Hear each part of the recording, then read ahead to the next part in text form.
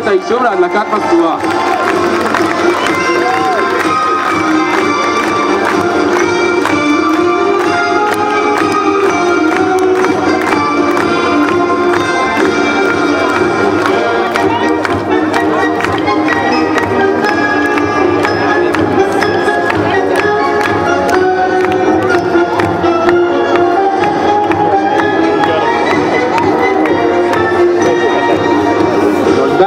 בשנת 1951. הייתה בשליחות באוסטרליה במשך 13 שנה מטעם חב"ד יחד עם בעלת צבי. לאחר מכן גרה 19 שנה באפרת. אימא לבת וסבתא לשתי נכדות.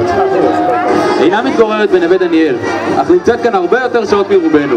היא מגיעה- ליישוב כל בוקר בשעות מוקדמות מאוד ודואגת לקדם את פני הבאים במאור פנים. היא זו שדואגת שלכל אחד יהיה את השוקו ולחמניה בבוקר ושהחלב יהיה טרי. למרות שאינה תושבת נווה דניאל, כולם מכירים ומוקירים אותה על עבודתה המסורה בסבר הפנים היפות שבו היא דואגת לכל אחד ומסייעת לו. היא אינה מגרשת אף אחד, גם אם מדובר סמוך ממש לשעות הנעילה של הסופר. אנחנו שמחים להזמין את גברת שולמית לובלסקי, עובדת הסופר בנווה דניאל, להדלקת משואה.